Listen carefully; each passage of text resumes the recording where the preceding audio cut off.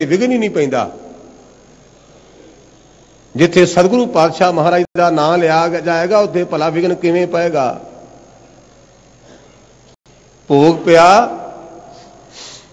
ਭਾਈਚਾਰਾ ਬੈਠਾ ਹੈ ਤੇ ਮਾਤਾ ਭਾਗ ਕੌਰ ਜੀ ਬਹੁਤ ਅਮੀਰ ਪਰਿਵਾਰ ਨਾਲ ਸਨ ਬਹੁਤ ਅਮੀਰ ਪਰਿਵਾਰ ਸੀ ਇਹਨਾਂ ਦਾ। ਪੜ੍ਹ ਕੇ ਤੁਸੀਂ ਹੈਰਾਨ ਹੋ ਜਾਓਗੇ, ਅਸੀਂ ਪੱਟੀ ਸ਼ਹਿਰ ਦੇ ਨਾਲ ਇੱਕ ਲਫ਼ਜ਼ ਵਰਦੇ ਹਾਂ 9 ਲੱਖੀ ਪੱਟੀ। 9 ਲੱਖੀ ਪੱਟੀ ਇਹਨੂੰ ਤਾਂ ਕਹਿੰਦਾ ਹੈ ਕਿ ਪੱਟੀ ਦੇ ਚੌਧਰੀ ਉਹ ਜ਼ਮਾਨੇ ਵਿੱਚ ਸਰਕਾਰ ਨੂੰ 9 ਲੱਖ ਰੁਪਈਆ ਮਾਮਲਾ ਭਰਦੇ ਸਨ, ਜਿਹਨੂੰ ਆਪਾਂ ਟੈਕਸ ਕਹਿਣ ਲੱਗ ਪਏ ਆ 3 ਲੱਖ ਰੁਪਈਆ ਚਬਾਲ ਦੇ, ਚੌਧਰੀ ਤਾਰ ਦੇ। 3 ਲੱਖ ਰੁਪਈਆ ਨਸ਼ਹਿਰੇ ਢਾਲੇ ਦੇ, ਚੌਧਰੀ ਟਾਲ ਸੋ ਤਾਰ ਦੇ। ਇਸ ਕਾਰਨ ਕਰਕੇ ਪੱਟੀ ਦੇ ਨਾਮ ਦੇ ਨਾਲ ਅਸੀਂ 9 ਲੱਖੀ ਲਫ਼ਜ਼ ਬੋਲਦੇ ਹਾਂ। ਮਾਤਾ ਭਾਗਕੌਰ ਦੇ ਪੇਕੇ 3 ਲੱਖ ਰੁਪਇਆ ਸਰਕਾਰ ਨੂੰ ਟੈਕਸ ਦਿੰਦੇ ਸਨ ਤੇ ਕਿੰਨੇ ਅਮੀਰ ਹੋਣਗੇ? ਪਰ ਸਦਕੇ ਜਾਵਾਂ ਉਸ ਮਾਤਾ ਭਾਗਕੌਰ ਦੇ ਪਰਿਵਾਰ ਦੇ ਤੇ ਮਾਤਾ ਭਾਗਕੌਰ ਦੇ ਐਨੀ ਮਾਇਆ ਹੁੰਦਿਆਂ ਹੋਇਆਂ ਵੀ ਉਹਨਾਂ ਨੂੰ ਗੁਰੂ ਨਹੀਂ ਪੁਰਦਾ ਇਹ ਤੇ ਆਪਣੇ ਕੋਲ ਚਾਰ ਪੈਸੇ ਆ ਜਾਣ ਤੇ ਆਪਾਂ ਗੁਰੂ ਨੂੰ ਭੁਲਾ ਦੇਨੇ ਬਦ ਕਿਸਮਤੀ ਸਾਡੀ। ਤਾਈਓ ਤਾਂ ਗਵਾਣੀ ਚ ਪੜਦੇ ਆ ਦੁਖਦਾਰੂ ਸੁਖ ਰੋਗ ਭਇਆ ਜਾਂ ਸੁਖ ਤਾਮਨ ਹੋਈ। ਮਾਇਆ ਦੀ ਪਾਈ ਇਹੋ ਜੀ ਹੈ। ਕਈ ਬੰਦੇ ਕਹਿੰਦੇ ਗਿਆਨੀ ਜੀ, ਰੱਬ ਭੁੱਲਦਾ ਕਿਉਂ ਹੈ? ਉਹਦਾ ਜਵਾਬ ਗੁਰਮੁਖ ਇਹ ਹੈ ਕਿ ਆਪਾਂ 2 ਰੁਪਏ ਦੀ ਮਾਇਆ ਪੱਗ ਨੂੰ ਲਵਾ ਲਈਏ ਨਾ, ਚੌਲਾਂ ਦੀ ਪਿੱਛ ਤੇ ਪੱਗ ਆਕੜ ਜਾਂਦੀ ਹੈ। ਅੱਗੇ ਰਿਵਾਜ ਹੁੰਦਾ ਸੀ ਮਾਇਆ ਲਵਾਉਣ ਦਾ। ਤੇ ਜੇ 2 ਰੁਪਏ ਦੀ ਮਾਇਆ ਨਾਲ ਕੱਪੜਾ ਆਕੜ ਜਾਂਦਾ ਤੇ ਜਿਹਦਾ ਬੈਂਕ ਬੈਲੈਂਸ ਵੱਧ ਜਾਏ ਉਹਨੇ ਵੀ ਆਕੜਨਾ ਹੀ ਹੈ ਨਾ ਫਿਰ। ਇੱਕ ਗੱਲ ਯਾਦ ਰੱਖਣੀ, ਜਿਹੜਾ ਆਕੜ ਜਾ ਮਰ ਜਾਂਦਾ ਜੇ। ਜਦੋਂ ਕਿਸੇ ਦੀ ਮੌਤ ਹੁੰਦੀ ਹੈ ਨਾ, ਤੇ ਉਹਦੇ ਪਿੰਡੇ ਨੂੰ ਟੋਈਦਾ ਤੇ ਆਪਾਂ ਅਨੇ ਅਜੇ ਗਰਮ ਹੈ। ਡਾਕਟਰ ਸਾਹਿਬ ਨੂੰ ਬੁਲਾਓ ਵੀ ਸ਼ਾਇਦ ਠੀਕ ਹੋ ਜਾਏ। ਤੇ ਜਦੋਂ ਆਕੜ ਜਾਏ ਤੇ ਆਪਾਂ ਕਹਿੰਦੇ ਉਹ ਕੱਪੜਾ ਪਾ ਲਓ ਤੇ ਭੈਣਾ ਭਰਾਵਾਂ ਨੂੰ ਫੋਨ ਕਰੋ ਤਾਂ ਕਿ ਟਾਈਮ ਨਾਲ ਇਹਨੂੰ ਕੱਢਿਆ ਜਾਏ। ਆਕੜਨਾ ਮਰੇ ਦੀ ਨਿਸ਼ਾਨੀ ਹੈ। ਗੁਰੂ ਕਿਰਪਾ ਕਰੇ, ਸਾਨੂੰ ਮਾਇਆ ਤਾਂ ਚਾਹੀਦੀ, ਪਰ ਮਾਇਆ ਨਾਲ ਸਾਡੇ ਅੰਦਰ ਆਕੜ ਨਾ ਆਵੇ। ਸਾਡੇ ਤੇ ਗੁਰੂ ਕਿਰਪਾ ਕਰੇ। ਜਿਵੇਂ ਰਾਜੇ ਜਨਕ ਦੀ ਅਵਸਥਾ ਸੀ, ਆਪਾਂ ਪੜ੍ਹਦੇ ਆ ਭਾਈ ਗੁਰਦਾਸ ਜੀ ਦੀਆਂ ਵਾਰਾਂ, ਭਗਤ ਵੱਡਾ ਰਾਜਾ ਜਨਕ ਹੈ, ਗੁਰਮੁਖ ਮਾਇਆ ਵਿੱਚ ਉਦਾਸੀ। ਮਾਇਆ ਹੈ। ਲੇਕਿਨ ਗੁਰੂ ਵਾਲੇ ਪਾਸੇ ਨੂੰ ਮੁਖ ਹੋਣ ਕਰਕੇ ਰਾਜਾ ਜਨਕ ਵੀ ਗੁਰਮੁਖ ਬਣਿਆ ਰਿਹਾ। ਮਾਇਆ ਤੇ ਉਹਦਾ ਮਨ ਉਦਾਸ ਰਿਹਾ। ਰੋਹ ਵਿਚਾਰ। ਉਸ ਭੋਗ ਦੇ ਮੌਕੇ ਤੇ ਮਾਤਾ ਭਾਗ ਕੌਰ ਦੇ ਭਰਾ, ਉਹਦਾ ਨਾਮ ਸੀ ਸਰਦਾਰ ਭਾਗ ਸਿੰਘ। ਬੜੀ ਚਲਦੀ ਸੀ ਉਹਦੀ।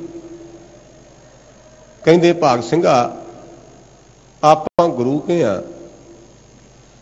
ਤੇ ਆਪਾਂ ਨੂੰ ਸਤਿਗੁਰੂ ਪਾਤਸ਼ਾਹ ਵਾਸਤੇ ਵੀ ਕੁਝ ਕਰ ਚਾਰਾ ਕਰਨਾ ਚਾਹੀਦਾ ਹੈ। ਕਹਿੰਦੇ ਹੁਕਮ ਕਰੋ। ਸਾਰੇ ਭਾਈਚਾਰੇ ਨੇ ਇੱਕ ਰਾਏ ਹੋ ਕੇ ਸੁਝਾ ਦਿੱਤਾ ਭਾਗ ਸਿੰਘ। ਸਤਿਗੁਰੂ ਪਾਤਸ਼ਾਹ ਦੇ ਸਹਿਬਜ਼ਾਦੇ ਸ਼ਹੀਦ ਹੋ ਗਏ। ਮਾਤਾ ਜੀ ਸ਼ਹੀਦ ਹੋ ਗਏ। ਹਜੂਰ ਨੂੰ ਅਨੰਦਪੁਰ ਸਾਹਿਬ ਛੱਡਣਾ ਪਿਆ। ਅਸੀਂ ਤੁਹਾਨੂੰ ਬੇਨਤੀ ਕਰਦੇ ਵੀ ਕਿਸੇ ਢੰਗ ਨਾਲ ਸਰਕਾਰ ਦਾ ਤੇ ਗੁਰਦੇਵ ਦਾ ਸੁਲ੍ਹਾ ਹੋ ਜਾਏ। ਇਹ ਤੁਸੀਂ ਕਰ ਸਕਦੇ ਹੋ। ਜਦੋਂ ਇਹ ਭਾਈਚਾਰੇ ਨੇ ਗੱਲ ਕਹੀ, ਸਰਦਾਰ ਭਾਗ ਸਿੰਘ ਨੇ ਆਪਣੇ ਭਾਈਚਾਰੇ ਦੀ ਇਸ ਰਾਏ ਦੇ ਅੱਗੇ ਸਿਰ ਝੁਕਾਇਆ ਤੇ ਨਾਲ ਦੇ ਕਹਿਣ ਲੱਗੇ, ਭਾਗ ਸਿੰਘਾ, ਜ਼ਿੰਦਗੀ ਦਾ ਕੋਈ ਭਰੋਸਾ ਨਹੀਂ। ਨੇਕ ਕੰਮ ਕਰਦਿਆਂ ਦੇਰੀ ਨਹੀਂ ਲਾਈ ਦੀ ਮਤਾ ਪਿੰਡ ਜਾ ਕੇ ਤੈਨੂੰ ਭੁੱਲ ਜਾਏ ਜਾਂ ਹੋਰ ਦਿਨ ਲੇਟ ਹੋ ਜਾਣ। ਅਸੀਂ ਰਾਏ ਦੇਨੇ ਵੀ ਆਪਾਂ ਇੱਥੋਂ ਹੀ ਗੁਰਦੇਵ ਵਾਲੇ ਪਾਸੇ ਨੂੰ ਚਾਲੇ ਪਾਈਏ। ਸਾਡੀ ਰਾਏ ਹੈ। ਸਰਦਾਰ ਭਾਗ ਸਿੰਘ ਨੇ ਇਸ ਗੱਲ ਨੂੰ ਸਵੀਕਾਰ ਕੀਤਾ। ਭਾਣਾ ਰੱਬ ਦਾ ਕਿ ਮਾਤਾ ਭਾਗ ਕੌਰ ਦੇ ਕਰ ਸੰਤਾਨ ਨਹੀਂ ਸੀ, ਬੱਚਾ ਨਹੀਂ ਸੀ। ਤੇ ਜਦੋਂ ਮਾਤਾ ਭਾਗ ਕੌਰ ਦੇ ਪਰਿਵਾਰ ਦੇ ਮੈਂਬਰ, ਮਾਤਾ ਭਾਗ ਕੌਰ ਦੇ ਸਗੇ ਭਰਾਵਾਂ ਦਾ ਨਾਮ ਸੀ ਭਾਗ ਸਿੰਘ ਤੇ ਦਿਲਬਾਗ ਸਿੰਘ। ਮਾਤਾ ਭਾਗ ਕੌਰ ਦੇ ਚਾਚੇ ਦੇ ਪੁੱਤਰਾਂ ਦਾ ਨਾਮ ਇਤਿਹਾਸ ਵਿੱਚ ਲਿਖਿਆ ਹੈ, ਘਰ ਬਾਰਾ ਸਿੰਘ ਤੇ ਗੰਡਾ ਸਿੰਘ। ਇਹ ਚਾਰੇ ਭਰਾ ਹੋਰ ਭਾਈਚਾਰੇ ਦੇ ਗੁਰਮੁਖ ਪਿਆਰੇ, ਇਹ ਕਲਗੀਧਰ ਪਾਤਸ਼ਾਹ ਮਹਾਰਾਜ ਵਾਲੇ ਪਾਸੇ ਨੂੰ ਚੱਲਣ ਲੱਗੇ ਤੇ ਮਾਤਾ ਭਾਗ ਕੌਰ ਕਹਿਣ ਲੱਗੀ, ਵੀਰ, ਮੰਮੀ, ਤੁਹਾਡੀ ਭੈਣ ਆ ਤੇ ਮੈਨੂੰ ਨਾਲ ਲੈ ਚਲੋ। ਵਿੱਚੋਂ ਇੱਕ ਬੋਲਿਆ, ਸੱਚ ਭੈਣ, ਅਸੀਂ ਗੁਰੂ ਪਾਤਸ਼ਾਹ ਮਹਾਰਾਜ ਦੇ ਚਰਨਾਂ ਵਿੱਚ ਆ ਕੇ ਬੇਨਤੀ ਕਰਾਂਗੇ, ਭੈਣ, ਤੇਰੇ ਘਰ ਗੁਰਦੇਵ ਪੁੱਤਰ ਦੀ ਦਾਤ ਬਖਸ਼ਣ। ਇਉਂ ਭੈਣਾ ਭਰਾਵਾਂ ਦੀ ਰਾਏ ਦੇ ਨਾਲ ਜਿੱਥੇ ਗੁਰਮੁਖ ਪਿਆਰੇ ਵੱਧ ਚੱਲੇ ਤੇ ਮਾਤਾ ਭਾਗਕਰ ਵੀ ਚੱਲ ਪਈ।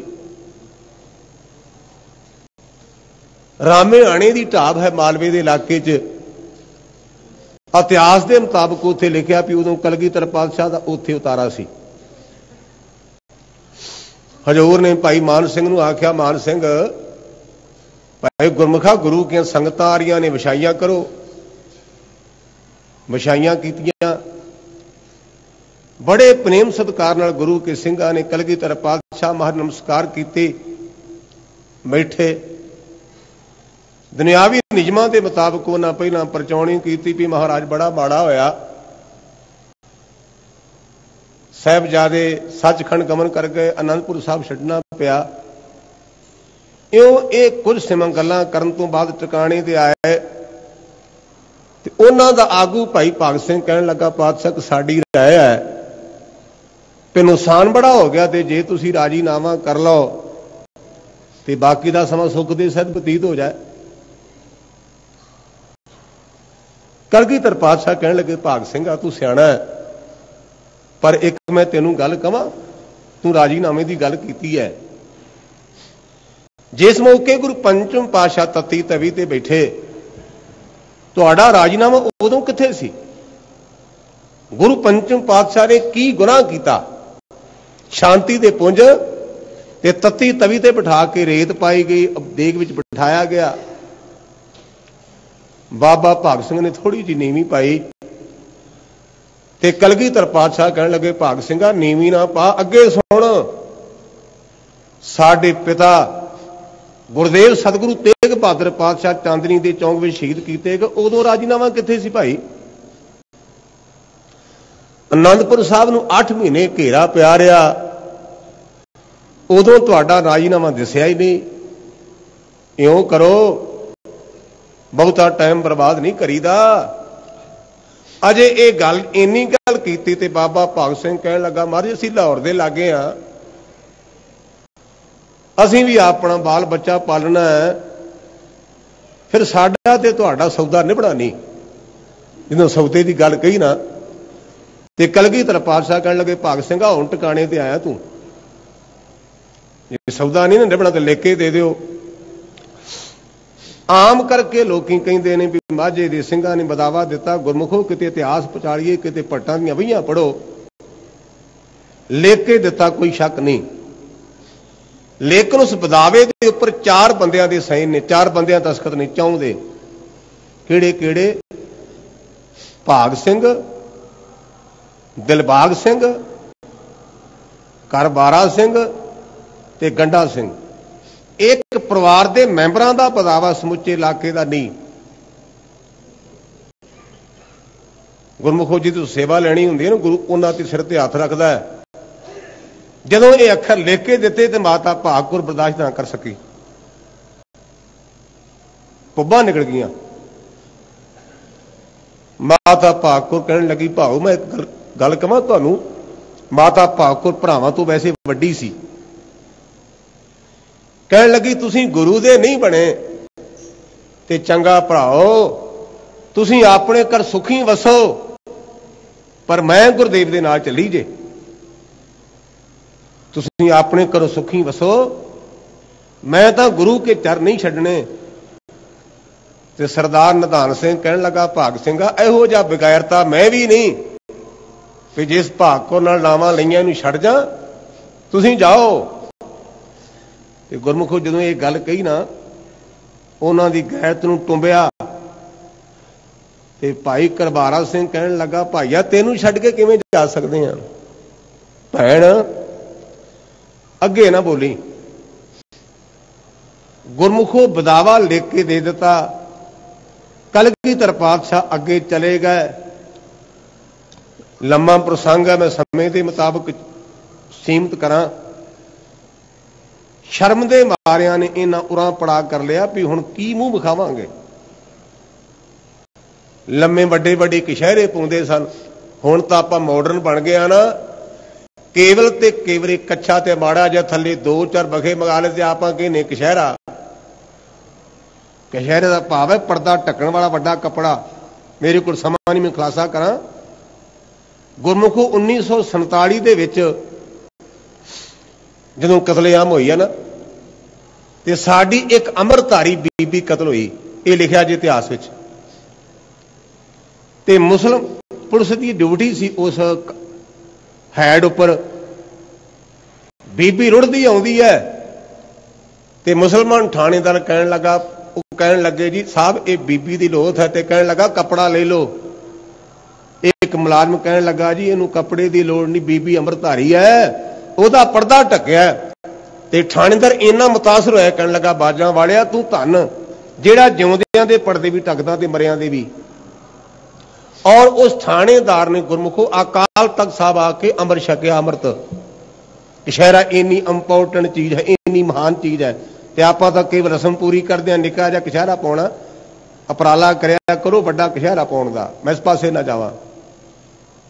ਉਹਨਾਂ ਕਿਸ਼ਹਿਰੇ ਝਾੜੀਆਂ ਤੇ ਪਾ ਦਿੱਤੇ ਤੁਰਕਾਂ ਨੇ ਹਮਲਾ ਕਰ ਦਿੱਤਾ। ਔਰ ਸਾਰੇ ਦੇ ਸਾਰੇ ਸਿੰਘ ਸ਼ਹੀਦ ਹੋ ਗਏ, ਜਿਨ੍ਹਾਂ ਚੋਂ ਤਿੰਨ ਬਚੇ ਨੇ ਫਟੜ। ਇੱਕ ਮਾਂ ਸਿੰਘ, ਦੂਜਾ ਰਾਏ ਸਿੰਘ, ਤੀਜਾ ਸੁੰਦਰ ਸਿੰਘ ਤੇ ਚੌਥੀ ਮਾਤਾ ਭਾਗ ਕੌਰ। ਇਹਦੇ ਪੱਟ ਤੇ ਗੋਲੀ ਵੱਜੀ ਹੈ ਮਾਤਾ ਭਾਗ ਕੌਰ ਦੇ। ਪੱਟ ਤੇ ਗੋਲੀ। ਕਲਗੀਧਰ ਪਾਤਸ਼ਾਹ ਮਹਾਰਾਜ ਨੂੰ ਪ੍ਰੇਮ ਦੀ ਤਾਰ ਪਹੁੰਚੀ ਮਾਨ ਸਿੰਘ ਨੇ ਆਖਿਆ, ਪਾਤਸ਼ਾਹ, ਤੂੰ ਭੁੱਲਿਆਂ ਨੂੰ ਬਖਸ਼ ਦੇਣਾ ਮਾਪੇ ਕਮਾਪੇ ਨਹੀਂ ਹੁੰਦੇ, ਪੁੱਤ ਕਪੁੱਤ ਹੋ ਜਾਂਦੇ ਨੇ। ਅਸੀਂ ਤੇਰੇ ਪੁੱਤਾਂ ਤੂੰ ਆਖਰ ਸਾਡਾ ਬਾਪ ਤਾਂ ਹੈ ਨਾ। ਪ੍ਰੇਮ ਦੀ ਤਾਰ ਪਹੁੰਚੀ, ਇੰਨੀ ਖਿੱਚ ਪਈ। ਮੇਰਾ ਪਾਤਸ਼ਾਹ ਘੋੜੇ ਤੇ ਚੜਨ ਲੱਗਾ ਤੇ ਇੱਕ ਪਾਸਿਓਂ ਘੋੜੇ ਦੀ ਜਿਹੜੀ ਰਕਾਬ ਸੀ ਉਹ ਟੁੱਟ ਗਈ। ਉਹ ਰਕਾਬ ਅੱਜ ਵੀ ਸਾਡੇ ਕੋਲ, ਸਾਂਭੀ ਜੇ ਪੰਥ ਕੋਲ। ਮੇਰੇ ਪਾਤਸ਼ਾਹ ਕੇਵਲ ਇੱਕ ਰਕਾਬ ਤੇ ਚਰਨ ਰੱਖ ਕੇ ਉੱਥੇ ਆਏ। ਤੇ ਕਹਿਣ ਲੱਗੇ, ਭਾਈ ਮਾਨ ਸਿੰਘਾ, ਬਹੁਤ ਵੱਡੀ ਗੱਲ ਕਹੀ। ਮੇਰੇ ਪਾਤਸ਼ਾਹ ਕਹਿੰਦੇ ਚਾਹੁੰਦਾ ਕਰ ਅਮੀਰ ਦਿਆਂ, ਰਾਜ ਭਾਗ ਤੇ ਤੈਨੂੰ ਜਗੀਰ ਦਿਆਂ, ਕਰ ਕੰਚਨ ਵਾਂਗ ਸਰੀਰ ਦਿਆਂ। ਕੀ ਦਿਲ ਦੀਆਂ ਬਿਉਂਤਾਂ ਲਾਉਣਾ ਹੈ? ਜੇ ਚਾਹਣਾ ਤੇ ਤੈਨੂੰ ਰਾਜ ਭਾਗ ਦੇ ਦਿਆਂ। ਤੇਰੀ ਉਮਰ ਲੰਮੀ ਕਰ ਦਿਆਂ। ਤੇ ਤਨ ਗੁਰੂ ਤੇ ਤਨ ਗੁਰੂ ਦੇ ਬਖਸ਼ੇ ਸਿੰਘ, ਉਹਨੇ ਆਖਿਆ, ਪਾਤਸ਼ਾਹ ਨਾ, ਨਹੀਂ ਰਾਜ ਭਾਗ ਦੀ ਚਾਹ ਦਾਤਾ, ਮੈਨੂੰ ਚਰਨਾਂ ਵਿੱਚ ਟਿਕਾ ਦਾਤਾ। ਕਿਤੇ ਆ ਮੰਗ ਮੰਗਿਆ ਕਰੀਏ। ਨਹੀਂ ਰਾਜ ਭਾਗ ਦੀ ਚਾਹ ਦਾਤਾ ਮੈਨੂੰ ਚਰਨਾਂ ਵਿੱਚ ਟਿਕਾ ਦਾਤਾ। ਮੁਕਤੀ ਦਾ ਬਣੀ ਗਵਾਹ ਦਾਤਾ। ਦਿਲ ਸੱਚ ਦੀ ਤਕੜੀ ਹਾੜ ਦਿਓ। ਜੇ ਮੇਰ ਅਸਾਂ ਤੇ ਕਰ ਦਿਓ, ਉਹ ਲਿਖਿਆ ਬਦਾਵਾ ਪਾੜ ਦਿਓ। ਜੇ ਮਿਹਰ ਕਰਨੀ ਆ ਨਾ ਨਾ ਲੰਮੀ ਉਮਰ ਦੀ ਇੱਛਾ ਹੈ, ਨਾ ਰਾਜ ਭਾਗ ਦੀ ਇੱਛਾ ਹੈ। ਤੇ ਕੋਲੋਂ ਬਾਬਾ ਮਨੀ ਸਿੰਘ ਦੇ ਹੱਡ ਗ੍ਰੰਥੀ ਹੋਏ, ਉਹਨਾਂ ਦਾ ਪੁੱਤਰ ਵੀ ਵਿੱਚੇ ਸੀ। ਉਹ ਕਹਿਣ ਲੱਗਾ, ਭਾਉ ਪਤਾ ਨਹੀਂ ਅਗਲਾ ਪ੍ਰਾਣ ਆਉਣਾ ਕਿ ਨਹੀਂ ਆਉਣਾ। ਆਪਾਂ ਤਿੰਨੇ ਜਣੇ ਤੇ ਮਾਤਾ ਭਾਗਕੌਰ ਨੂੰ ਕਹਿਣ ਲੱਗੇ, ਭੈਣ, ਤੂੰ ਵੀ ਬੋਲ। ਉਹਨਾਂ ਰਲ ਕੇ ਪੰਕਤੀਆਂ ਪੜੀਆਂ ਸੀ, ਰਾਜ ਨਾ ਚਾਹੂੰ, ਮੁਕਤ ਨਾ ਚਾਹੂੰ ਮਨ ਪ੍ਰੀਤ ਚਰਨ ਕਮਲਾਰੇ। ਅਸੀਂ ਮੁਕਤੀ ਵੀ ਨਹੀਂ ਮੰਗਦੇ, ਰਾਜ ਭਾਗ ਵੀ ਨਹੀਂ ਮੰਗਦੇ। ਜੇ ਤੁਰਠਾਂ ਬਾਜਾਂ ਵਾਲਿਆ, ਤੇਰੇ ਚਰਨਾਂ ਨਾਲ ਬਣ ਆ ਜਾਏ। ਮੈਂ ਅੱਜ ਆਪਣੇ ਵੱਲੋਂ ਆਪਣੀ ਸਮੁੱਚੀ ਕੌਮ ਵੱਲੋਂ ਬਾਜਾਂ ਵਾਲੇ ਨੂੰ ਹਾੜਾ ਕੱਢਦਾ ਮੇਰੇ ਮਾਲਕਾ ਜੇ ਤੁਰਠਾਂ ਸਾਡੇ ਤੇ ਕਰਮ ਕਰ ਸਾਡੇ ਤੇ ਕਿਰਪਾ ਕਰ ਸਾਨੂੰ ਆਪਣੇ ਚਰਨਾਂ ਨਾਲ ਜੋੜੀ ਰੱਖੀ। ਇਹ ਮੈਂ ਕਲਗੀਧਰ ਪਾਤਸ਼ਾਹ ਦੇ ਚਰਨਾਂ ਚ ਅਰਦਾਸ ਬੇਨਤੀ ਕਰਦਾ ਹੁਣ ਗੁਰਮੁਖੋ ਜੋ ਗੁਰੂ ਕਾ ਹੁਕਮਨਾਮਾ ਹੈ ਇਹਦੇ ਅਦਬ ਵਾਸਤੇ ਜਿਹੜੇ ਆਖਰੀ ਅਰਥ ਨੇ ਸਰਵਣ ਕਰੋ ਜੀ। ਸਤਨਾਮ ਸ੍ਰੀ ਵਾਹਿਗੁਰੂ ਸਾਹਿਬ ਜੀ। ਸ਼ਲੋਕ ਮਹਲਾ ਤੀਜਾ। ਨਾਨਕ ਨਾਵਹ ਕੁਥਿਆ ਮੇਰੇ ਪਾਤਸ਼ਾਹ ਕਹਿੰਦੇ, ਪਿਆਰਿਆ, ਨਾਮ ਦੇ ਨਾਲੋਂ ਭੁੱਲਣ ਕਰਕੇ ਕੁਥਿਆ ਦਾ ਭਾਵ ਹੁੰਦਾ, ਜਿਵੇਂ ਆਪਾਂ ਕਹਿੰਦੇ ਮੈਂ ਰਸਤਾ ਭੁੱਲ ਗਿਆ। ਸ਼ਹਿਰ ਵਿੱਚ ਗਏ ਸਾਂ, ਜਿਵੇਂ ਆਮ ਆਪਾਂ ਪਿੰਡਾਂ ਦੇ ਲੋਕ ਆਉਨੇ ਆ ਨਾ, ਤੇ ਆਪਾਂ ਕਹਿੰਦੇ ਮੈਂ ਸ਼ਹਿਰ ਵਿੱਚ ਗਿਆ ਤੇ ਮੈਨੂੰ ਬਾਜ਼ਾਰ ਭੁੱਲ ਗਿਆ। ਜਿਹੜਾ ਭੁੱਲਣਾ ਉਹਨੂੰ ਉਹਨੂੰ ਕਹਿੰਦੇ ਨੇ ਕੁਥਿਆ ਅਸੀਂ ਸੰਸਾਰ ਦੇ ਵਿੱਚ ਉਸ ਪਰਿਪੂਰਨ ਪਰਮਾਤਮਾ ਨੂੰ ਚੇਤੇ ਕਰ ਲਈ ਆਏ ਸਾਂ। ਪਰ ਗੁਰਮੁਖ ਪਿਆਰਿਓ ਸਾਨੂੰ ਪਰਮਾਤਮਾ ਹੀ ਭੁੱਲ ਗਿਆ। ਨਾਮੋਂ ਦਾ ਅਰਥ ਹੈ ਪਰਮਾਤਮਾ। ਨਾਨਕ ਨਾਮੋਂ ਕੁਥਿਆ ਉਸ ਪਰਮਾਤਮਾ ਦੇ ਨਾਲੋਂ ਟੁੱਟਣ ਕਰਕੇ, ਉਸ ਪਰਮਾਤਮਾ ਨੂੰ ਭੁੱਲਣ ਕਰਕੇ ਬੜਾ ਪਰੇਸ਼ਾਨ ਹੋਵੇਗਾ। ਬੜਾ ਦੁਖੀ ਹੋਵੇਗਾ ਉਹ ਕੀ ਦੁੱਖ ਹੈ? ਹਾਲਤ ਪਾਲਤ ਸਭ ਜਾਏ। ਹਰ ਧਰਤ ਦਾ ਗੁਰਮੁਖੋ ਆਲੋਕ ਪਲ ਦਰਤ ਦਾ ਪ੍ਰਲੋਕ ਉਸ ਵੈਗਰੂ ਨਾਲੋਂ ਟੁੱਟਣ ਕਰਕੇ ਉਹ ਜੀਵ ਜਿਹੜੇ ਪ੍ਰਮਾਤਮਾ ਨੂੰ ਭੁੱਲ ਗਏ ਨੇ ਉਹਨਾਂ ਦਾ ਲੋਕ ਵੀ ਗਿਆ ਉਹਨਾਂ ਆਪਣਾ ਪ੍ਰਲੋਕ ਵੀ ਗਵਾ ਲਿਆ। ਜਪ ਤਪ ਸੰਜਮ ਸਭ ਹਿਰ ਲਿਆ। ਇੱਥੇ ਕੋਈ ਸ਼ੰਕਾ ਸ਼ੰਕਾ ਕਰਦਾ ਭਾਈ ਸਾਹਿਬ ਜਿਹੜਾ ਜਾਪੇ ਮਾੜਾ ਹੁੰਦਾ? ਤੇ ਇੱਥੇ ਲਿਖਿਆ ਜਾਪ ਤਪ ਸੰਜਮ ਸਭ ਹਿਰ ਲਿਆ। ਜਪ ਦੇ ਵੈਸੇ ਅਖਰੀ ਅਰਥ ਨੇ ਗੁਰਮੁਖੋ ਬੋਲ ਕੇ ਬੰਦਗੀ ਕਰਨੀ? ਬੋਲ ਜਿਹੜਾ ਆਪਾਂ ਬੋਲਦੇ ਆ ਨਾ ਉਹਨੂੰ ਕਹਿੰਦੇ ਨੇ ਜਾਪ। ਰਹਿਤ ਨਾਮਿਆਂ 'ਚ ਵੀ ਲਿਖਿਆ, ਜਪ ਜਾਪ ਕੇ ਜਪੇ ਬਿਨ ਜੋ ਜੀਵੇ ਪ੍ਰਸਾਦ। ਉੱਥੇ ਜਪ ਦਾ ਅਰਥ ਹੈ ਜਪਜੀ ਸਾਹਿਬ। ਇੱਥੇ ਜਿਹੜਾ ਜਪ ਲਿਖਿਆ ਨਾ, ਜਿਵੇਂ ਕਈ ਲੋਕ ਪਦਾਰਥਾਂ ਦੀ ਪ੍ਰਾਪਤੀ ਵਾਸਤੇ ਵਿਸ਼ੇਸ਼ ਮੰਤਰਾਂ ਦਾ ਜਾਪ ਕਰਦੇ ਨੇ, ਵਿਸ਼ੇਸ਼ ਮੰਤਰਾਂ ਦਾ। ਤੇ ਕਿਸੇ ਦੇਵੀ ਦੇਵਤੇ ਦੀ ਆਰਾਧਨਾ ਕਰਨੀ। ਮੈਂ ਇੱਕ ਹੋਰ ਇੱਕ ਬੇਨਤੀ ਕਰਾਂ ਵੀ ਆਪਾਂ ਅਮਰਧਾਰੀ ਵੀ ਕਈ ਗੁਰਮੁਖ ਪਿਆਰੇ ਆਪਾਂ ਭੁੱਲ ਕਰ ਜਾਂਦੇ ਆ ਗਿਆਨੀ ਜੀ, ਫਲਾਣੇ ਬਾਬਾ ਜੀ ਨੇ ਫਲਾਣਾ ਸ਼ਬਦ ਸਿੱਧ ਕੀਤਾ। ਬੜੀ ਗੱਲ ਹੈ ਲੋਕਾਂ ਦੀ। ਜਿਹਨੇ ਦੁਕਾਨ ਚੱਲੀ ਹੈ ਨਾ, ਤੇ ਉਹਨਾਂ ਦੇ ਜਿਹੜੇ ਜੰਟ ਨੇ ਉਹ ਪ੍ਰਚਾਰ ਕਰਨਗੇ, ਬਾਬਾ, ਗਿਆਨੀ ਜੀ, ਸਾਡੇ ਬਾਬਿਆਂ ਨੇ ਫਲਾਣਾ ਸ਼ਬਦ ਸਿੱਧ ਕੀਤਾ ਹੈ। ਗੁਰਸਿੱਖੋ, ਨਿਮਰਤਾ ਸਹਿਤ ਬੇਨਤੀ ਹੈ। ਇਹ ਬਾਣੀ ਗੁਰੂ ਨੇ ਸਿੱਧ ਕੀਤੀ, ਭਲਾ ਬੰਦਾ ਕੌਣ ਸਿੱਧ ਕਰਨ ਵਾਲਾ? ਇਹਦਾ ਭਾਵ ਕਿ ਪਹਿਲਾਂ ਬਾਣੀ ਸਿੱਧ ਹੀ ਨਹੀਂ। ਕਿੱਡਾ ਗਲਤ ਭਲਾ ਗੰਡਾ ਹੈ। ਫਲਾਣੇ ਸੰਤਾਂ ਨੇ ਫਲਾਣਾ ਸ਼ਬਦ ਸਿੱਧ ਕੀਤਾ ਹੈ। ਭਲਿਓ ਇਹ ਜਿੰਨੀ ਵੀ ਬਾਣੀ ਹੈ ਗੁਰੂ ਪੰਚਮ ਪਾਤਸ਼ਾਹ ਨੇ ਸਿੱਧ ਕਰਕੇ ਲਿਖਵਾਈ ਹੈ। ਬਾਣੀ ਹੈ ਹੀ ਸਿੱਧ। ਐਵੇਂ ਚੱਕਰਾਂ 'ਚ ਨਾ ਪਿਆ ਕਰੋ। ਇਹ ਦੁਕਾਨਦਾਰੀਆਂ ਨੇ ਉਹਨਾਂ ਦੇ ਏਜੰਟ ਪ੍ਰਚਾਰ ਕਰਦੇ ਨੇ। ਬਾਣੀ ਹੈ ਹੀ ਸਿੱਧ। ਜਿਨ੍ਹਾਂ ਇੱਕ ਵਾਰ ਵੈਗਰੂ ਕਹਿ ਲਿਆ ਨਾ, ਭਾਈ ਸਾਹਿਬ, ਭਾਈ ਗੁਰਦਾਸ ਨਹੀਂ ਕਹਿੰਦੇ, ਪੁਨ ਅੰਮ੍ਰਿਤ ਨਾਮ ਵਿਸ਼ੇਸ਼ ਇਤੀ, ਜਿਨ ਏਕ ਵਾਰ ਸ੍ਰੀ ਵੈਗਰੂ ਕਹਿਓ। ਇਹਦੀ ਬੜੀ ਲੰਮੀ ਚੌੜੀ ਵਿਆਖਿਆ ਸੋਈਏ ਚ। ਜਪ ਦਾ ਭਾਵ ਹੁੰਦਾ, ਕਿਸੇ ਵਿਸ਼ੇਸ਼ ਮੰਤਰ ਦਾ ਜਾਪ ਕਰਨਾ। ਤਪ ਦਾ ਭਾਵ ਹੁੰਦਾ ਕਿ ਆਪਣੇ ਸਰੀਰ ਨੂੰ ਤੰਗ ਕਰਕੇ ਜਿਵੇਂ ਕਈ ਰੋਟੀ ਨਹੀਂ ਖਾਂਦੇ, ਜਾਂ ਕਈ ਜੁੱਤੀ ਨਹੀਂ ਪਾਉਂਦੇ, ਕਈ ਧੂਣੀਆਂ ਤਾਉਂਦੇ ਨੇ, ਔਰ ਇਸੇ ਤਰ੍ਹਾਂ ਕਈ ਜਲ ਧਾਰਾ ਕਰਦੇ ਨੇ ਆਪਣੇ ਤਨ ਨੂੰ ਤੰਗ ਕਰਨ ਲਈ। ਉਹਨੂੰ ਕਹਿੰਦੇ ਨੇ ਤਾਪ। ਸੰਯਮ ਦਾ ਭਾਵ ਹੁੰਦਾ ਵੀ ਆਹ ਚੀਜ਼ ਨਹੀਂ ਖਣੀ, ਸੰਕੋਚ ਕਰਨਾ। ਭਾਵੇਂ ਕਿਸੇ ਵਿਸ਼ੇਸ਼ ਮੰਤਰ ਦਾ ਜਾਪ ਕੀਤਾ ਪ੍ਰਮਾਤਮਾ ਨੂੰ ਛੱਡ ਕੇ ਭਾਵੇਂ ਸਰੀਰ ਨੂੰ ਕਿੰਨਾ ਤੰਗ ਕੀਤਾ ਪ੍ਰਮਾਤਮਾ ਨੂੰ ਛੱਡ ਕੇ ਭਾਵੇਂ ਕਈ ਚੀਜ਼ਾਂ ਦਾ ਪਰਹੇਜ ਕੀਤਾ ਹੈ ਪ੍ਰਮਾਤਮਾ ਨੂੰ ਛੱਡ ਕੇ ਇਹ ਸਾਰੇ ਦਾ ਸਾਰਾ ਖੋਹ ਲਿਆ ਜਾਂਦਾ ਹੈ। ਮੁਠੀ ਦੂਜਾ ਭਾਏ। ਇੱਕ ਵੈਗਰੂ ਨੂੰ ਛੱਡ ਕੇ ਇੱਕ ਪ੍ਰਮਾਤਮਾ ਨੂੰ ਛੱਡ ਕੇ ਦੂਜੇ ਪਾਸੇ ਜਪ ਤਪ ਕਰਨਾ ਨਾ ਭਾਈ। ਉਹ ਜੀਵ ਉਹ ਲੋਕ ਉਹ ਮਾਈ ਭਾਈ ਲੁੱਟੇ ਗਏ। ਜੇ ਜਾਪ ਕਰਨਾ ਤੇ ਕੇਵਲ ਤੇ ਕੇਵਲ ਇੱਕ ਪ੍ਰਮਾਤਮਾ ਦਾ ਕਰ ਕੇਵਲ ਤੇ ਕੇਵਲ ਇੱਕ ਵੈਗਰੂ ਨਾਲ ਜੁੜਨਾ ਕਰ ਸੋ ਇਸ ਪ੍ਰਕਾਰ ਜਮਦਾਰ ਬੱਦੇ ਮਾਰੀਆ ਉਹ ਮਨੁੱਖ ਜਿਹੜੇ ਇੱਕ ਪ੍ਰਮਾਤਮਾ ਦੇ ਨਾਮ ਨੂੰ ਛੱਡ ਕੇ ਸਰੀਰ ਨੂੰ ਤੰਗ ਕਰਨਾ ਕਿਸੇ ਵਿਸ਼ੇਸ਼ ਮੰਤਰ ਦਾ ਜਾਪ ਕਰਨਾ ਉਹ ਭਾਈ ਜਮਾ ਦੇ ਦਰ ਤੇ ਕੁੱਟੀ ਦੇ ਨੇ। ਉਹਨਾਂ ਨੂੰ ਮਾਰ ਪੈਂਦੀ ਹੈ। ਬਹੁਤੀ ਮਿਲਾ ਸਜਾਏ। ਬਹੁਤ ਤਗੜੀ ਸਜ਼ਾ ਮਿਲੇਗੀ ਉਹਨਾਂ ਨੂੰ। ਮੈਂ ਕੇਵਲ ਤੇ ਕੇਵਲ ਆਧਾਰ ਮੁਤਾਬਕ ਕਹਿਣ ਲੱਗਾ ਕਿਤੇ ਇਹ ਨਾ ਕਹਿਣਾ ਵੀ ਗਿਆਨੀ ਜੀ ਆ ਪ੍ਰਚਾਰ ਕਰਨ ਲੱਗ ਪਏ ਨੇ। ਗੜ ਪ੍ਰਾਣ ਵਿੱਚ ਲਿਖਿਆ ਗੜ ਪ੍ਰਾਣ ਦੀ ਇੱਕ ਉਦਾਹਰਨ ਹੈ। ਕਿ ਜਿਹੜਾ ਬੰਦਾ ਸ਼ਰਾਬ ਪੀਂਦਾ ਨਾ ਤੇ ਜਿਵੇਂ ਨਿੱਕਾ ਜਿਹਾ ਬੱਚਿਆਂ ਦਾ ਗੇਂਦ ਹੁੰਦਾ ਹੈ ਇਹ ਲਿਖਿਆ ਹੋ ਗੜ ਪ੍ਰਾਣ ਵਿੱਚ। ਤੇ ਉਸ ਗੇਂਦ ਨੂੰ ਚੌਂ ਪਾਸੇ ਨਿੱਕੀਆਂ ਨਿੱਕੀਆਂ ਸੂਈਆਂ ਲੱਗੀਆਂ ਹੋਣ। ਤੇ ਜਿਵੇਂ ਉਹ ਕਿਸੇ ਬੰਦੇ ਦੇ ਮੂੰਹ ਵਿੱਚ ਪਾਈ ਜਾਏ ਤੇ ਦਰਦ ਹੁੰਦਾ ਨਾ, ਇਸ ਪ੍ਰਕਾਰ ਉਸ ਸ਼ਰਾਬ ਪੀਣ ਵਾਲੇ ਮਨੁੱਖ ਨੂੰ ਤੰਗ ਕੀਤਾ ਜਾਂਦਾ ਅਕੋਰਡਿੰਗ ਟੂ ਗੜ ਪ੍ਰਾਣ। ਉਹ ਮਨੁੱਖ ਜਿਹੜੇ ਪ੍ਰਮਾਤਮਾ ਨੂੰ ਭੁੱਲ ਗਏ ਨੇ, ਉਹ ਭਾਈ ਪ੍ਰਮਾਤਮਾ ਦੇ ਦਰ ਦੇ ਜਮਾ ਦੇ ਦਰ ਪਰ ਪ੍ਰਮਾਤਮਾ ਨੂੰ ਭੁੱਲਣ ਕਰਕੇ ਭਾਰੀ ਸਜ਼ਾ ਉਹਨਾਂ ਨੂੰ ਝੱਲਣੀ ਪੈਗੀ ਮਹਲਾ ਤੀਜਾ। ਹਾਂਜੀ। ਸੰਤਾ ਨਾਲ ਵੈਰ ਕਮਾਵਦੇ। ਸੰਤ ਦਾ ਭਾਵ ਹੁੰਦਾ ਸਤ ਨਾਲ ਜੁੜਿਆ ਹੋਇਆ। ਜਿਹੜਾ ਸਤ ਨਾਲ ਜੁੜਿਆ ਨਾ ਭਾਵੇਂ ਕਿਸੇ ਵੀ ਕੌਮ 'ਚ ਹੋਵੇ ਉਹਨੂੰ ਸੰਤ ਕਵਾਂਗੇ। ਉਹ ਮਨੁੱਖ ਜਿਹੜੇ ਸਤ ਨਾਲ ਜੁੜੇ ਹੋਏ ਨੇ ਜਿਹੜਾ ਕੋ ਉਹਨਾਂ ਨਾਲ ਵੈਰ ਕਰਦਾ ਈਰਖਾ ਕਰਦਾ ਹੈ। ਦੁਸਟਾ ਨਾਲ ਮੋਹ ਪਿਆਰ। ਤੇ ਮੈਂ ਕੀ ਪਕੜਨ ਵਾਲਿਆਂ ਨਾਲ ਵਿਸ਼ੇਸ਼ ਸਨੇਹ ਕਰਨਾ ਪਕੜ ਕਰਨੀ ਉਹਨਾਂ ਦੀ?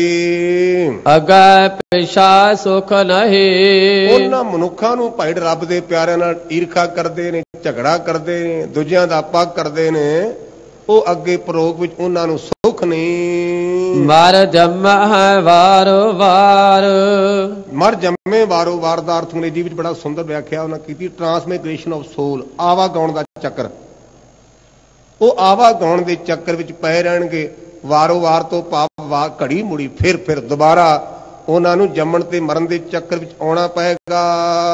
ਤ੍ਰਿਸ਼ਨਾ ਕਦੇ ਨਾ ਇਹ ਬੁਝਾਈ ਪਦਾਰਥਾਂ ਦੀ ਪਕੜ ਇਹ ਉਹਨਾਂ ਦੇ ਅੰਦਰੋਂ ਖਤਮ ਹੀ ਨਹੀਂ ਹੁੰਦੀ ਲਾਲਸਾ ਬੁੱਧੀ ਨਹੀਂ ਮੁਕਦੀ ਨਹੀਂ ਕਾਰਨ ਦੁਬਦਾ ਹੋਏ ਖੁਆਰ। ਇਹ ਉਹਦੇ ਚੁੱਤੇ ਪੁਣੇ ਵਿੱਚ ਪੈ ਕਰਕੇ ਖੁਆਰ ਹੁੰਦੇ ਨੇ ਪਰੇਸ਼ਾਨ ਹੁੰਦੇ ਹਨ। ਮੋਹ ਕਾਲੇ ਤਿਨਾ ਲਿੰਦਕਾ ਇਹੋ ਜੀ ਨਿੰਦਿਆ ਕਰਨ ਵਾਲੇ ਲੋਕਾਂ ਦੇ ਮੂੰਹ ਕਾਲੇ ਹੁੰਦੇ ਨੇ ਕਿੱਥੇ? ਤਿਤ ਸੱਚਾ ਦਰਬਾਰ। ਉਹ ਭਾਈ ਸੱਚੇ ਪ੍ਰਮਾਤਮਾ ਦੀ ਦਰਬਾਰ ਕਚਹਿਰੀ ਦੇ ਵਿੱਚ ਉਸ ਪ੍ਰਮਾਤਮਾ ਦੀ ਕਚਹਿਰੀ ਦੇ ਵਿੱਚ ਜਿਹੜੇ ਭਾਈ ਕਿਸੇ ਤੇ ਨਜਾਇਜ਼ ਤੁਮਤਾਂ ਲਾਉਂਦੇ ਨੇ ਉਹਨਾਂ ਦਾ ਮੂੰਹ ਕਾਲਾ ਹੁੰਦਾ ਹੈ। ਨਾਨਕ ਨਾਮ ਵਿਹੋੜਿਆ ਮੇਰੇ ਪਾਤਸ਼ਾਹ ਕਹਿੰਦੇ ਨੇ ਜਿਹੜੇ ਮਨੁੱਖ ਨਾਮ ਤੋਂ ਖਾਲੀ ਹਨ ਜਿਨ੍ਹਾਂ ਦੇ ਕੋਲ ਨਾਮ ਨਹੀਂ। ਨਾ ਉਰਵਾਰ ਨਾ ਪਾਰ। ਨਾ ਐਸ ਲੋਕ ਐ ਲੋਕ ਜੋਗੇ ਰਹਿ ਤੇ ਨਾ ਪਰਲੋਕ ਜੋਗੇ ਰਹਿ ਜਿਹਨੂੰ ਆਪਾਂ ਆਮ ਬੋਲੀ ਚ ਕਹਿੰਦੇ ਰਾਰ ਪਾਰ। ਨਾ ਆ ਪਾਸਾ ਰਿਆ ਨਾ ਉਹ ਪਾਸਾ ਰਿਆ। ਪੌੜੀ ਜੋ ਹਰ ਨਾਮ ਧਿਆਏ ਦੇ। ਹਾਂ ਜੋ ਪ੍ਰਮਾਤਮਾ ਨੂੰ ਚੇਤੇ ਕਰਦੇ ਨੇ ਮਨ ਕਰਕੇ। ਸੇ ਹਰ ਹਰ ਨਾਮ ਰਤੇ ਮਨ ਮਾਹੀ। ਉਹਨਾਂ ਨੇ ਵਾਰ-ਵਾਰ ਵੈਗਰੂ ਵੈਗਰੂ ਕਹਿ ਕੇ ਰਾਮ ਰਾਮ ਕਹਿ ਕੇ ਜੋ ਵੀ ਕਿਸੇ ਦਾ ਧਰਮ ਮੰਤਰ ਹੈ ਗੁਰ ਮੰਤਰ ਹੈ ਉਹਨੂੰ ਵਾਰ-ਵਾਰ ਆਪਣੇ ਮਨ ਵਿੱਚ ਰਿਪੀਟ ਕੀਤਾ ਦੁਹਰਾਇਆ ਬੋਲਿਆ। ਜਿਨਾ ਮਨ ਚਿਤ ਇੱਕ ਤੇ ਆਰਾਧਿਆ ਜਿੰਨਾ ਮਨ ਕਰਕੇ ਚਿੱਤ ਕਰਕੇ ਅੰਦਰੋਂ ਇੱਕ ਦੀ ਆਰਾਧਨਾ ਕੀਤੀ। ਤਿਨਾ ਇੱਕ ਸਬਨ ਦੂਜਾ ਕੋ ਉਹਨਾਂ ਦੀ ਨਾਹੀ ਪਛਾਣ ਭਾਈ ਆਪਾਂ ਨੂੰ ਕਿਵੇਂ ਆਵੇਗੀ? ਹਜ਼ੂਰ ਕਹਿੰਦੇ ਉਹ ਇੱਕ ਤੋਂ ਬਿਨਾ ਹੋਰ ਦੂਜੇ ਦਾ ਖਿਆਲ ਹੀ ਨਹੀਂ ਕਰਦੇ। ਜਿਵੇਂ ਆਪਾਂ ਪੜ੍ਹਦੇ ਇੱਕ ਬਿਨ ਦੂਸਰ। ਸੋ ਨ ਚਨਾਰ। ਸੇ ਪੁਰਖ ਹਰ ਸੇਵਦੇ ਭਾਈ ਉਹੋ ਹੀ ਪੁਰਖ ਉਸ ਪ੍ਰਮਾਤਮਾ ਦੀ ਸੇਵਾ ਕਰਦੇ ਹਨ। ਦਿਨ ਧੁਰ ਮਸਤਕ ਲੇਖ ਲਖਾਹੀ। ਮਾ- ਮਹਾਰਾਜ ਨੇ ਵੈਗਰੂ ਨੇ ਉਹਨਾਂ ਦੇ ਮੱਥੇ ਤੇ ਲਿਖਿਆ। ਤੇ ਫਿਰ ਆਪਾਂ ਕਹਿੰਦੇ ਜੀ ਮੱਥੇ ਤੇ ਲਿਖਿਆ ਤਾਂ ਵੀ ਪਾਣੀ ਪੜ ਲਾਂਗੇ। ਉਹ ਭਲਿਓ ਅੱਗੇ ਨਹੀਂ ਲਿਖਿਆ ਤੇ ਹੁਣ ਆਪਾਂ ਗੁਰੂ ਅਰਦਾਸ ਕਰਕੇ ਹੁਣ ਲਿਖਾ ਲਈਏ ਜਿਵੇਂ ਮਾਤਾ ਸੁਲੱਖਣੀ ਨੇ ਲਿਖਾਇਆ ਸੀ। ਜੇ ਨਹੀਂ ਨਾ ਲਿਖਿਆ ਤੇ ਹੁਣ ਆਪ ਅਰਦਾਸ ਬੇਨਤੀ ਕਰਕੇ ਪਾਤਸ਼ਾਹ ਕੇ ਬੇਨਤੀ ਕਰੀਏ, ਪਾਤਸ਼ਾਹ ਕਿਰਪਾ ਕਰ, ਹੁਣ ਲਿਖ ਦਿਓ। ਇਹ ਕਹਿਣਾ ਵੀ ਲਿਖਿਆ ਵੀਗਾ ਤਾਂ ਹੀ ਹੈ। ਮੇਰੇ ਪਾਤਸ਼ਾਹ ਕਹਿੰਦੇ, ਜਿਨ੍ਹਾਂ ਦੇ ਧਰੋਂ ਮੱਥੇ ਦੇ ਲੇਖ ਚੰਗੇ ਨੇ ਨਾ, ਉਹੋ ਹੀ ਪ੍ਰਮਾਤਮਾ ਦੀ ਇਬਾਦਤ ਕਰਦੇ ਨੇ, ਬੰਦਗੀ ਕਰਦੇ ਹਨ। ਹਰ ਕੇ ਗੁਣ ਨਿਤ ਗਾਵਦੇ। ਉਹ ਪਰਿਪੂਰਨ ਪ੍ਰਮਾਤਮਾ ਨੂੰ ਰੋਜ਼ਾਨਾ ਚਾਹ ਕਰਕੇ ਚੇਤੇ ਕਰਦੇ ਨੇ ਉਚਾਰਦੇ ਹਨ। ਹਰ ਗੁਣ ਗਾਏ ਗੁਰੇ ਸਮਝਾਹੀ। ਹਰੀ ਦੇ ਗੁਣ ਗਾ ਕਰਕੇ ਤੇ ਗੁਣ ਦਾ ਅਰਥ ਹੁੰਦਾ ਵਿਚਾਰ ਕਰਨੀ। ਗੁਣੀ ਕਹਿੰਦੇ ਨੇ ਸਿੱਧੀ ਕਰਨ ਵਾਲਾ ਜਿਹੜੇ ਸਾਡੇ ਆ ਰਾਜ ਮਿਸਤਰੀ ਨੇ ਨਾ ਉਹਨਾਂ ਕੋਲ ਇੱਕ ਸੰਦ ਹੁੰਦਾ ਜਿਹਦੇ ਨਾਲ ਵੇਂਦੇ ਨੇ ਵੀ ਕੰਧ ਸਿੱਧੀ ਹੈ ਕਿ ਵਿੰਗੀ ਉਹਨੂੰ ਕਹਿੰਦੇ ਨੇ ਗੁਣੀਆਂ। ਇਸ ਪ੍ਰਕਾਰ ਵਿਚਾਰ ਦੇ ਗੁਣੀਏ ਦੇ ਨਾਲ ਉਹ ਆਪਣੇ ਮਨ ਨੂੰ ਸਮਝਾਉਂਦੇ ਨੇ ਵੀ ਆਹ ਕੰਮ ਗੁਰਮਤ ਮੁਤਾਬਕ ਹੈ ਆ ਕੰਮ ਗੁਰਮਨ ਦੇ ਉਲਟ ਹੈ।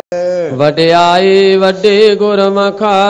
ਉਹਨਾਂ ਗੁਰਮੁਖਾਂ ਦੀ ਭਾਈ ਵਡਿਆਈ ਵੱਡੀ ਹੈ ਕਿੰਨਾ ਦੀ? ਗੁਰ ਪੂਰਾ ਹਰ ਨਾਮ ਸਮਾਹੀ। ਜਿਹੜੇ ਪੂਰਨ ਗੁਰੂ ਦਾ ਬਖਸ਼ਿਆ ਨਾਮ ਲੈ ਕਰਕੇ ਉਸ ਨਾਮ ਚ ਸਥਿਤ ਹੋ ਗਏ ਉਹ ਗੁਰਮੁਖ ਪਰਮੇਸ਼ਰ ਦੇ ਸਦੀਵੀ ਤੌਰ ਤੇ ਲੀਨ ਹੋ ਗਏ। ਸਤਿਗੁਰੂ ਪਾਤਸ਼ਾਹ ਸਾਡੇ ਤੇ ਵੀ ਕਿਰਪਾ ਕਰੇ, ਸਾਡੀ ਵੀ ਇਹ ਅਵਸਥਾ ਬਣੇ। ਸਤਿਗੁਰੂ ਗ੍ਰੰਥ ਸੱਚੇ ਪਾਤਸ਼ਾਹ ਮਹਾਰਾਜ ਦਾ ਗੁਰੂ ਕੇ ਸੰਗਤਾਂ ਦਾ ਕੁਟਾਨ ਕੁਟਾਨ ਧੰਨਵਾਦ। ਭੁੱਲਾਂ ਚੁੱਕਾ ਦੀ ਮੁਆਫੀ ਜੀ। ਹਰ ਕੇ ਗੁਣ ਨਿਤ ਗਾਵਦੇ, ਹਰ ਗੁਣ ਗਾਏ ਗੁਣੀ ਸਮਝਾਹੀ। ਵਡਿਆਈ ਵੱਡੀ ਗੁਰਮਖਾ ਗੁਰ ਪੂਰਾ ਹਰ ਨਾਮ ਸਮਾਹੀ। ਵਾਹਿਗੁਰੂ ਜੀ ਕਾ ਖਾਲਸਾ ਵਾਹਿਗੁਰੂ ਜੀ ਕੀ ਫਤਿਹ। ਤੂੰ ਠਾਕੁਰ